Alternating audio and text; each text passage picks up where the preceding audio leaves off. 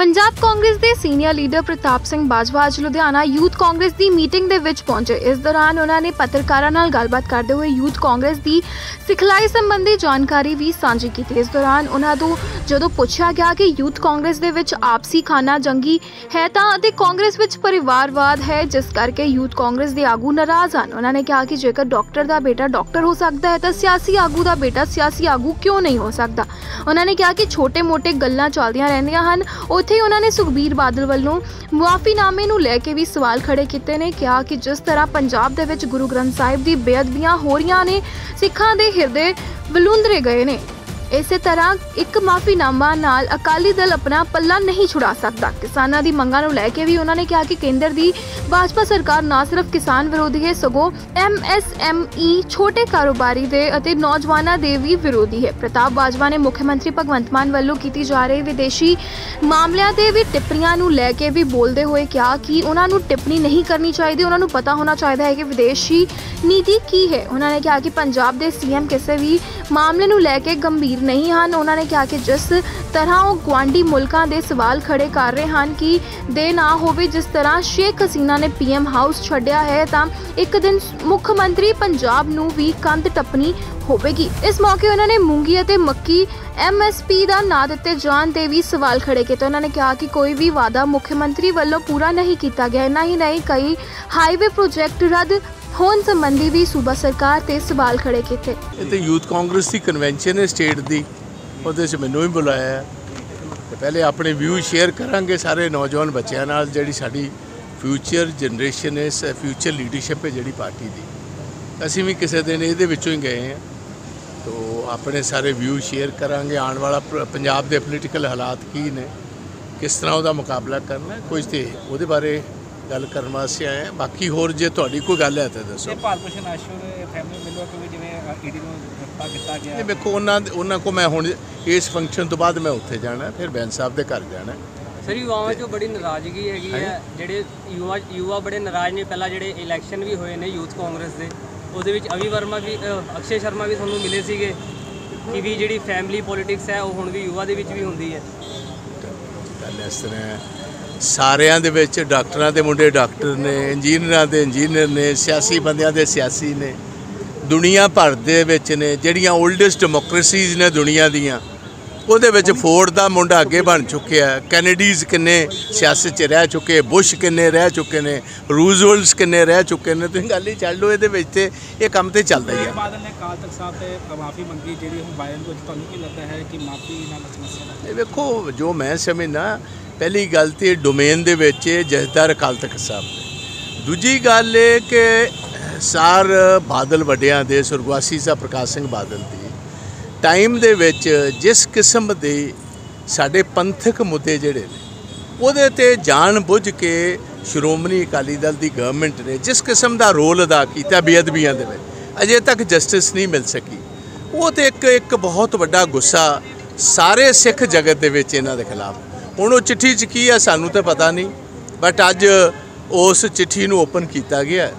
ਤੇ ਮੈਂ ਸਮਝਦਾ ਕਿ ਇੰਨੇ ਵੱਡੇ ਪੰਜਰ ਗੁਨਾਹ ਕਰਕੇ ਉਸ ਤੋਂ ਬਾਅਦ ਨਿਰੀ ਇੱਕ ਚਿੱਠੀ ਦੇ ਵਿੱਚ ਹੀ ਇਹ ਮਾਫੀਨਾਮਾ ਜਿਹੜਾ ਇਹ ਮੇਰਾ ਖਿਆਲ ਤੇ ਇਹ ਉਹਦਾ ਜਵਾਬ ਹੈ ਨਹੀਂ। ਇਹ ਤੇ ਜਥੇਦਾਰ ਅਕਾਲ ਤਖਤ ਸਾਹਿਬ ਨੂੰ ਬਹੁਤ ਗੰਭੀਰਤਾ ਨਾਲ ਵਿਚਾਰਨਾ ਪਏਗਾ ਇਸ ਕਿਸਮ ਦੀਆਂ ਪ੍ਰੈਕਟਿਸਿਸ ਆਂਦੇ ਟਾਈਮ ਦੇ ਵਿੱਚ ਕੋਈ ਵੀ ਗਵਰਨਮੈਂਟ ਜਿਹੜੀਆਂ ਨੇ ਉਹ ਨਾ ਕਰਨ। ਕਿਸਾਨਾਂ ਵਾਲਾ ਸੰਘਰਸ਼ ਜਾਰੀ ਹੈ ਜੀ। ਰਾਹੁਲ ਗਾਂਧੀ ਨੂੰ ਮਿਲਣ ਜਾ ਰਹੇ ਤੁਹਾਨੂੰ ਕੀ ਲੱਗਦਾ ਹੈ ਕਿ ਮੁੱਦਿਆਂ ਦੇ ਲੈ ਕੇ ਹਾਲੇ ਵੀ ਪਰੇਸ਼ਾਨ ਨੇ ਕਿਸਾਨ? ਨਹੀਂ ਵੇਖੋ ਕਿਸਾਨਾਂ ਵਾਸਤੇ ਇੱਕ ਗੱਲ ਇੱਕ ਸਾਫ਼ ਤੌਰ ਸਮਝ ਲਓ। ਜਿਹੜੀ ਭਾਜਪਾ ਹੈ ਮੋਦੀ ਸਾਹਿਬ ਦੇ ਥੱਲੇ ਇਹ ਤੇ ਵੱਡੇ ਕਾਰਪੋਰੇਟ ਹਾਊਸਸ ਦੀ ਗਵਰਨਮੈਂਟ ਹੈ। ਇਹਨਾਂ ਨੇ ਮੀਡੀਅਮ ਤੁਹਾਡੀ ਇੰਡਸਟਰੀ ਜਿਹੜੀ ਹੈ, ਨਾ ਉਹਦਾ ਧਿਆਨ ਰੱਖਿਆ, ਨਾ ਸਮਾਲ ਸਕੇਲ ਦਾ ਰੱਖਿਆ, ਨਾ ਦੁਕਾਨਦਾਰਾਂ ਦਾ ਰੱਖਿਆ, ਨਾ ਨੌਜਵਾਨ ਬੱਚਿਆਂ ਦਾ ਰੱਖਿਆ ਨੌਕਰੀਆਂ ਦੇ ਵਿੱਚ, ਨਾ ਮਿਡਲ ਕਲਾਸ ਦਾ ਰੱਖਿਆ, ਨਾ ਕਿਸਾਨਾਂ ਦਾ ਰੱਖਿਆ। ਕਿਸਾਨਾਂ ਨੂੰ ਤੇ ਕੋਈ ਆਸ ਉਮੀਦ ਹੀ ਇਹਨਾਂ ਕੋਲ ਹੈ ਨਹੀਂ। ਕਿਸਾਨਾਂ ਦੀ ਆਸ ਉਮੀਦ ਪੂਰੀ ਕਰੇਗੀ ਤੇ ਇੰਡੀਆ ਬਲਾਕ ਤੇ ਵਿਸ਼ੇਸ਼ ਤੌਰ ਸਾਡੇ ਲੀਡਰ ਰਾਹੁਲ ਗਾਂਧੀ ਜੀ ਨੇ ਤਾਂ ਜ਼ੁਬਾਨ ਦਿੱਤੀ ਹੈ ਕਿ ਜਦੋਂ ਵੀ ਕਾਂਗਰਸ ਨੂੰ ਮੌਕਾ ਮਿਲੇਗਾ ਜਿਹੜਾ ਪਹਿਲਾ ਕਦਮ ਹੋਏਗਾ ਉਹਦੇ ਵਿੱਚ ਡਾਕਟਰ ਸਵਾਮੀਨਾਥਨ ਦੀ ਰਿਪੋਰਟ ਲਾਗੂ ਕੀਤੀ ਜਾਏਗੀ। ਹਾਂਜੀ। ਸਰ ਕਾਨੂੰਨ ਵਿਵਸਥਾ ਕਿਵੇਂ ਦੇ ਆਏ ਦਿਨ ਘਟਨਾਵਾਂ ਵਾਪਰੀਆਂ ਨੇ ਜੇ ਲਾਇਨ ਦੇਖੋ ਬੜੀ ਬਦਕਿਸਮਤੀ ਦੀ ਗੱਲ ਹੈ ਕਿ ਚੀਫ ਮਿਨਿਸਟਰ ਸਾਡਾ ਜਿਹੜਾ ਉਹ ਸੀਰੀਅਸ ਹੀ ਨਹੀਂ ਇਹਨਾਂ ਮੁੱਦਿਆਂ ਦੇ ਉੱਤੇ। ਕਿਸੇ ਆਦਮੀ ਦੀ ਜ਼ਿੰਦਗੀ ਕਿਸੇ ਆਦਮੀ ਦੀ ਜਾਇਦਾਦ ਮਹਿਫੂਜ਼ ਨਹੀਂ ਹੈ। ਅੱਜ ਤੋਂ 4 ਦਿਨ ਪਹਿਲੇ ਇੱਕ ਐਸਐਚਓ ਲੇਡੀ ਐਸਐਚਓ ਹੈ। ਵੇਰਕੇ ਦੇ ਵਿੱਚ ਜਿਹੜੇ ਨਸ਼ੇ ਵੇਚਣ ਵਾਲੇ ਨੇ, ਉਹਨਾਂ ਸ਼ਰੇਆਮ ਅਟੈਕ ਕਰਕੇ ਉਹਨੂੰ ਸੰਗੀਨ ਜ਼ਖਮੀ ਕਰ ਦਿੱਤਾ। ਤੇ ਇਹਦੇ ਨਾਲ ਨਾਲ ਮੈਂ ਅੱਜ ਭਗਵੰਤ ਮਾਨ ਜੀ ਦਾ ਬਿਆਨ ਸੁਣ ਰਿਹਾ ਸੀ। ਫਲੋਰ ਦੇ ਵਿੱਚ ਕਿਲੇ ਦੇ ਵਿੱਚ ਇਹ ਬੋਲ ਰਹੇ ਸਨ। ਜਿਹਦੇ ਵਿੱਚ ਉਹਨਾਂ ਨੇ ਵਿਸ਼ੇਸ਼ ਤੌਰ ਸਾਡੇ ਗੁਆਂਢੀ ਮੁਲਕ ਬੰਗਲਾਦੇਸ਼ ਦੇ ਜਿਹੜੇ ਹਾਲਾਤ ਨੇ, ਉਹਨਾਂ ਤੇ ਟਿੱਪਣੀ ਕੀਤੀ, ਸ਼ੇਖ ਹਸੀਨਾ ਤੇ ਉਹਨਾਂ ਜ਼ਿਕਰ ਕੀਤਾ ਕਿ ਕਿਸ ਤਰ੍ਹਾਂ ਰਾਤੋਂ ਰਾਤ ਉਹਨਾਂ ਨੂੰ ਆਪਣਾ ਪ੍ਰਾਈਮ ਮਿਨਿਸਟਰ ਹਾਊਸ ਛੱਡ ਕੇ ਜਾਣਾ ਪਿਆ। ਮੈਂ ਭਗਵੰਤ ਮਾਨ ਜੀ ਨੂੰ ਰਾਏ ਦਊਂਗਾ, ਗੁਆਂਢੀ ਮੁਲਕਾਂ ਦੇ ਉੱਤੇ ਟਿੱਪਣੀ ਨਾ ਕਰੋ। ਵਿਸ਼ੇਸ਼ ਤੌਰ ਜਿਹੜਾ ਦੇਸ਼ ਜਿਹੜਾ ਪਿਛਲੇ 50 ਸਾਲ 52 53 ਸਾਲ ਪਹਿਲੇ 1971 ਦੇ ਵਿੱਚ ਹਿੰਦੁਸਤਾਨ ਨੇ ਹੀ ਆਪਣੀ ਉਹਦੇ ਵਿੱਚ ਪਹਿਲ ਕਦਮੀ ਕਰਕੇ ਪਾਕਿਸਤਾਨ ਨੂੰ ਤੋੜਿਆ ਸੀ। ਪਿਛਲੇ 50 ਸਾਲਾਂ 'ਚ ਲਗਾਤਾਰ ਤੇ ਵਿਸ਼ੇਸ਼ ਤੌਰ ਜਿਹੜੇ ਸ਼ੇਖ ਹਸੀਨਾ ਸੀ। ਇਹਨਾਂ ਨੇ ਉੱਥੇ ਹਿੰਦੁਸਤਾਨ ਦੇ ਪ੍ਰਤੀ ਆਪਣਾ ਵਧੀਆ ਰੁਖ ਰੱਖਿਆ ਸੀ। ਐਂਟੀ ਇੰਡੀਆ ਜਿੰਨੀਆਂ ਲੌਬੀ ਸੀ, ਉਹਨਾਂ ਨੂੰ ਉੱਥੇ ਪਨਪਨ ਨਹੀਂ ਸੀ ਦਿੱਤਾ। ਤੇ ਘੱਟ ਤੋਂ ਘੱਟ ਜੇ ਫੋਰਨ ਪਾਲਿਸੀ ਦੀ ਸਮਝ ਹੈ ਨਹੀਂ, ਤੇ ਭਗਵੰਤ ਮਾਨ ਜੀ ਨੂੰ ਮੈਂ ਬੇਨਤੀ ਕਰੂੰਗਾ ਕਿ ਆਪਣਾ ਮੂੰਹ ਬੰਦ ਰੱਖਿਆ ਕਰੋ। ਤੁਹਾਨੂੰ ਜਾਣਕਾਰੀ ਹੁੰਦੀ ਨਹੀਂ ਤੁਸੀਂ ਘੱਟ ਤੋਂ ਘੱਟ ਪੰਜਾਬ ਦਾ ਹੀ ਧਿਆਨ ਕਰ ਲਓ ਬੜਾ।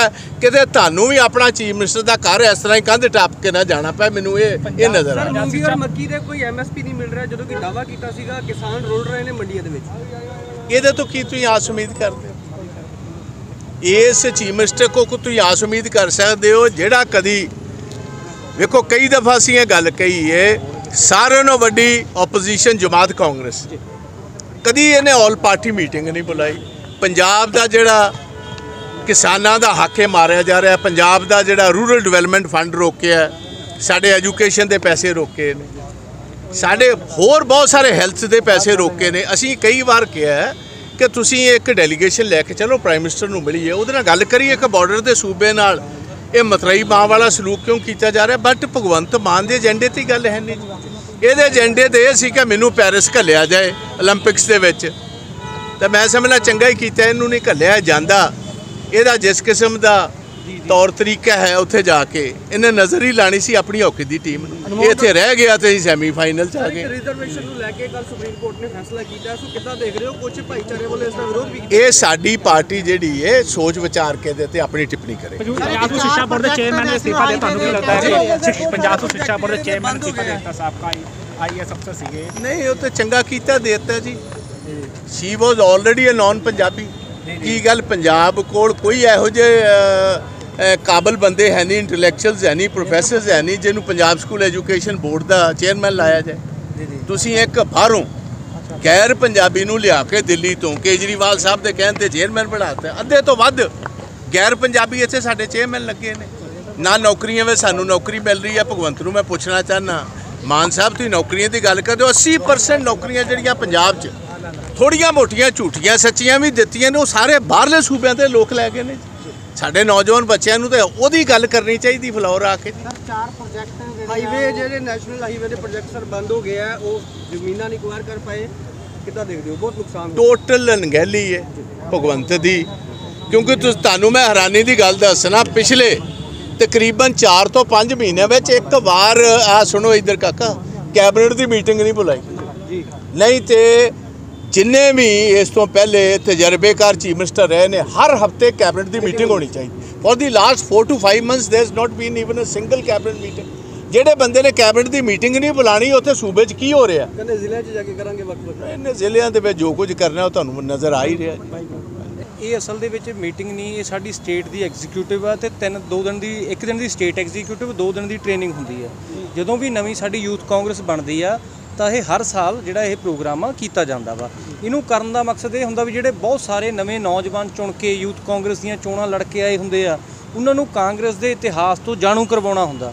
ਇਹਦੇ ਵਿੱਚ ਕਿਸ ਤਰ੍ਹਾਂ ਗਾਂਧੀ ਜੀ ਤੋਂ ਲੈ ਕੇ ਨਹਿਰੂ ਜੀ ਨੇ ਸਾਰੇ ਜਿੰਨੇ ਸਾਡੇ ਲੀਡਰ ਕਾਂਗਰਸ ਦੇ ਹੋਏ ਨੇ, ਉਹਨਾਂ ਨੇ ਕਿਸ ਕਿਸ ਤਰ੍ਹਾਂ ਕੀ ਕੀ ਦੇਸ਼ ਵਾਸਤੇ ਕੁਰਬਾਨੀਆਂ ਕੀਤੀਆਂ, ਕਿਵੇਂ ਜੇਲ੍ਹਾਂ ਕੱਟੀਆਂ, ਕਿਵੇਂ ਅੰਗਰੇਜ਼ਾਂ ਨੂੰ ਇਸ ਦੇਸ਼ ਤੋਂ ਆਜ਼ਾਦ ਕਰਵਾਇਆ ਸ਼ਹੀਦ ਭਗਤ ਸਿੰਘ, ਊਧਮ ਸਿੰਘ ਸਾਰੇ ਜਿਹੜੇ ਆਪਣੇ ਯੋਧੇ ਹੋਏ ਨੇ, ਉਹਨਾਂ ਦੀਆਂ ਸਾਰੇ ਉਹਨਾਂ ਬਾਰੇ ਦੱਸਿਆ ਜਾਂਦਾ।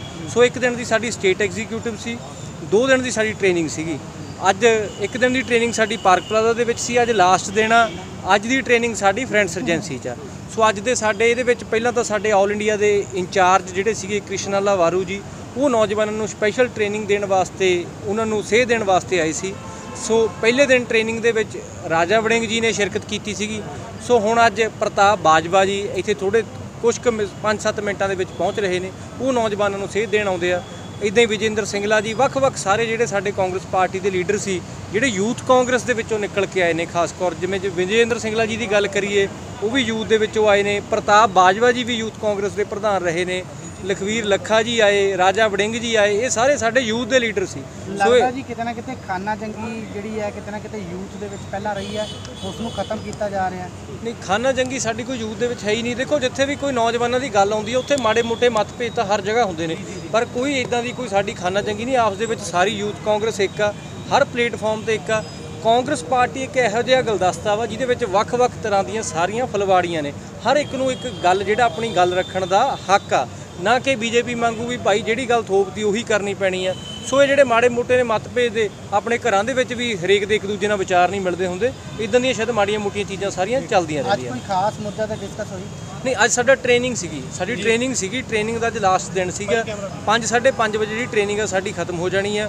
ਉਹ ਸਿਰਫ ਨੌਜਵਾਨਾਂ ਨੂੰ ਕਾਂਗਰਸ ਪਾਰਟੀ ਦੀਆਂ ਨੀਤੀਆਂ ਤੋਂ ਜਾਣੂ ਕਰਾਉਣ ਵਾਸਤੇ ਕਾਂਗਰਸ ਪਾਰਟੀ ਨਾਲ ਜੋੜਨ ਵਾਸਤੇ ਜਿਹੜਾ ਸੀਗਾ ਸਾਡਾ ਟ੍ਰੇਨਿੰਗ ਸੈਸ਼ਨ ਚੱਲਿਆ ਵਾ। ਇਲੈਕਸ਼ਨ ਆ ਰਹੀ ਹੈ ਨਗਰ ਨਿਗਮ ਦੀ ਚੋਣ ਹੈ ਉਹਦੇ ਵਿੱਚ ਯੂਥ ਦਾ ਕੀ ਰੋਲ ਰਹੇਗਾ ਖਾਸ ਕਰਕੇ? ਯੂਥ ਦਾ ਜਿਹੜਾ ਨੌਜਵਾਨਾਂ ਦਾ ਰੋਲ ਆ ਉਹ ਹਰ ਇਲੈਕਸ਼ਨ ਦੇ ਵਿੱਚ ਹੀ ਬਹੁਤ ਜ਼ਿਆਦਾ ਅਹਿਮ ਰਹਿੰਦਾ ਵਾ। ਕਿਉਂਕਿ ਜਿੱਧਰ ਵੀ ਨੌਜਵਾਨ ਹੋ ਜਾਣ ਉਧਰ ਹੀ ਸਰਕਾਰ ਬਣਦੀ ਆ। ਸੋ ਮੈਂ ਸਮਝਦਾ, ਮੈਂ ਕਾਂਗਰਸ ਪਾਰਟੀ ਨੂੰ ਇਹ ਅਪੀਲ ਵੀ ਕਰਦਾ ਕਿ ਵੱਧ ਤੋਂ ਵੱਧ ਨੌਜਵਾਨਾਂ ਨੂੰ ਟਿਕਟਾਂ ਦਿਓ, ਜਿਨ੍ਹਾਂ ਨੇ ਮਿਹਨਤ ਕੀਤੀ ਆ। ਸੋ ਸੋ ਨੌਜਵਾਨ ਜਿਹੜੇ ਬਹੁਤ ਅਹਿਮ ਜਿਹੜਾ ਰੋਲ ਇਸ ਇਲੈਕਸ਼ਨਾਂ ਦੇ ਵਿੱਚ ਅਦਾ ਕਰਨਗੇ ਤੇ ਬਹੁਤ ਸਾਰੀ ਤੁਸੀਂ ਦੇਖੋਗੇ ਉਹ ਵੀ ਚਾਹੇ ਜ਼ਿਲ੍ਹਾ ਪ੍ਰੀਸ਼ਦ ਦਾ ਚਾਹੇ ਬਲਾਕ ਸਹਿਮਤੀਆਂ ਨੇ, ਚਾਹੇ ਕੌਂਸਲਰ ਦੀਆਂ ਨੇ, ਉਹਦੇ ਵਿੱਚ ਨੌਜਵਾਨਾਂ ਦੀ ਬਹੁਤ ਜ਼ਿਆਦਾ ਭਾਰੀ ਗਿਣਤੀ ਦੇ ਵਿੱਚ ਸ਼ਿਰਕਤ ਵੀ ਕਰਨਗੇ।